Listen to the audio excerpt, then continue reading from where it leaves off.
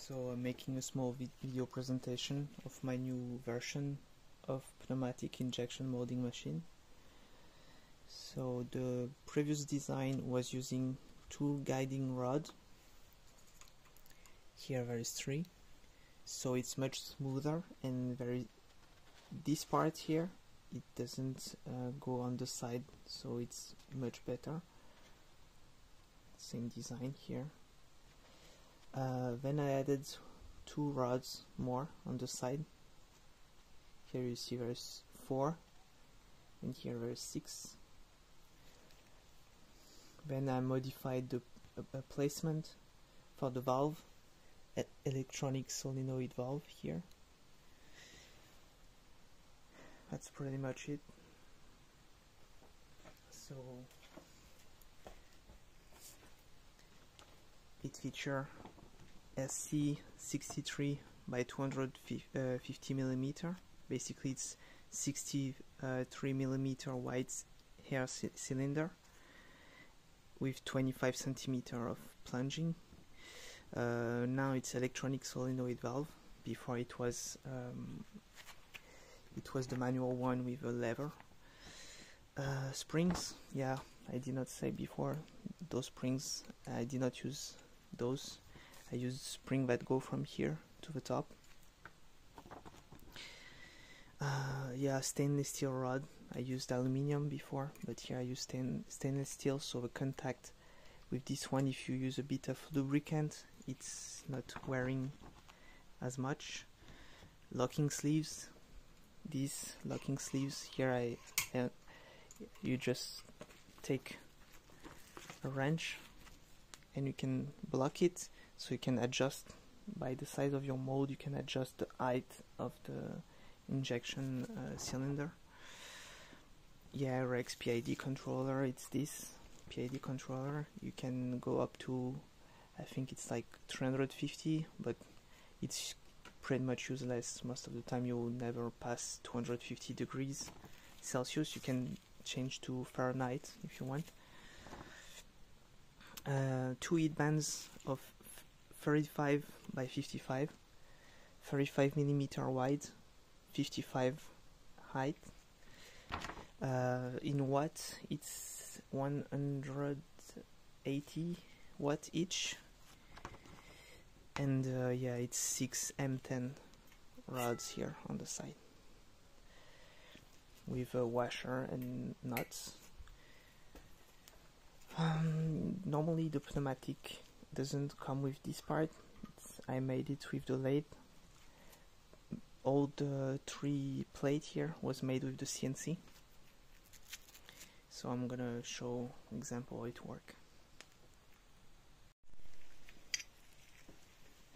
Here is a two-part mold that I use for lead casting for fishing but uh, I made a mistake in the design so I use it just as an example of injection but it's not really useful part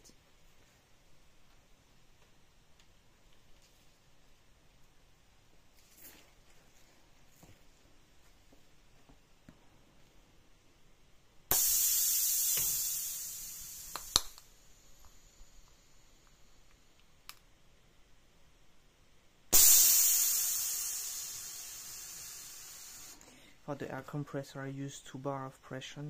You can use less, more depending on the on the temperature of the plastic and the size of your mold too. It it influences how much pressure you need. You can go up to 6 bar but most of the time you won't go past 2 bars. It's pretty much useless.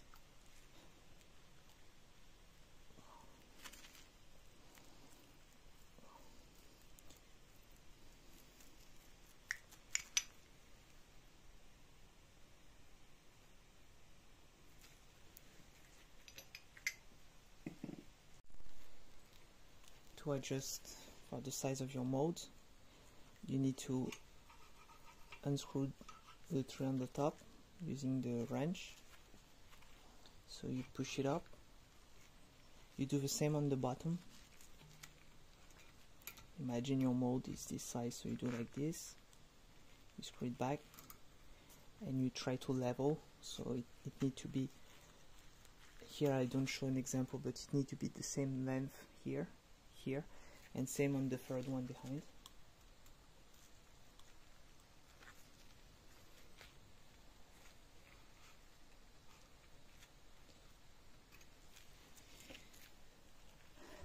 Once it's done you press it down like this and uh, if it's everything is aligned it will be very flat and then you do the same for the top. The top one are made so when you take it up the piston can can't push everything up.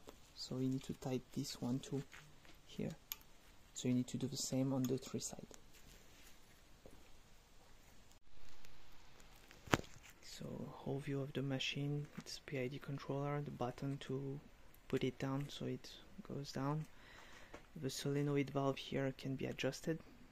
So basically you can make it go down faster and you can adjust the speed to go down and to go up on the two sides.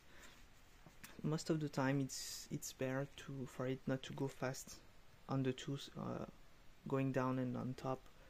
So you can anticipate in case you forgot something or you know like if you you should never put your hand here but in case for some reason you press the button you have your hand here with the noise you can you have time to move.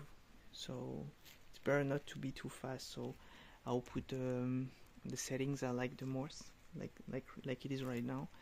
And um, but yeah it can be adjustable so. That's all for the machine